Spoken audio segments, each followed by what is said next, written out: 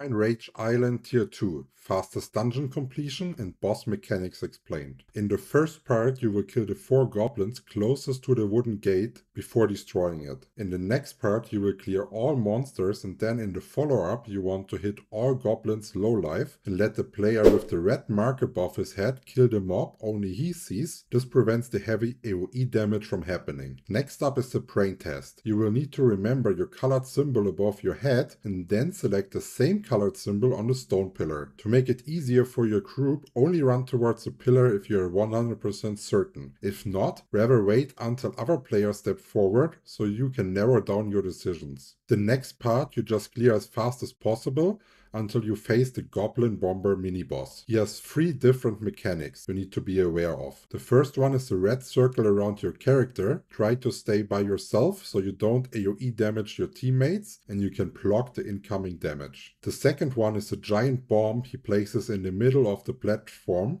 which will force you to jump with the hook to the next platform. The third one is a spawn of bombs that can be moved by attacking them, so make sure to knock them away far enough that your team has enough space to keep damaging the boss. Congrats, you have made it to the final boss. And unlock the Black Friday sale on Starforge systems, where you can get up to $400 off your next gaming PC. Use the link in the description and don't let hardware hold back your performance. Gaitan will start the fight out with a whirl attack that you can dodge by not standing in melee range. He then follows up with binding four players to pillars. He will focus one pillar at a time with a pizza AoE attack. You will need to dodge those until he destroys your pillar then you are free again. If you dodge it counterclockwise, you will not get stunned. To increase the difficulty while this is happening, one person will be marked with an X above its head, and this person gets followed around by a flame AoE. So this person should try to avoid luring this AoE into people bound to pillars. Now comes the reaction check. Gaitan will use the Rev charge attack multiple times in a row, always targeting the farthest away player, and you will have to dodge it with a roadblock. Last mechanic in his kit is the opposite of what we started with. It's a whirlwind attack where you have to go purposely into melee range to not take any damage. Good job, you have defeated Gaitan and can loot his chest for 450 dungeon tokens. And as we all know, people that are subscribed to the channel have higher drop rates, so what are you waiting for? And if you still have any other questions, just let me know in the comments.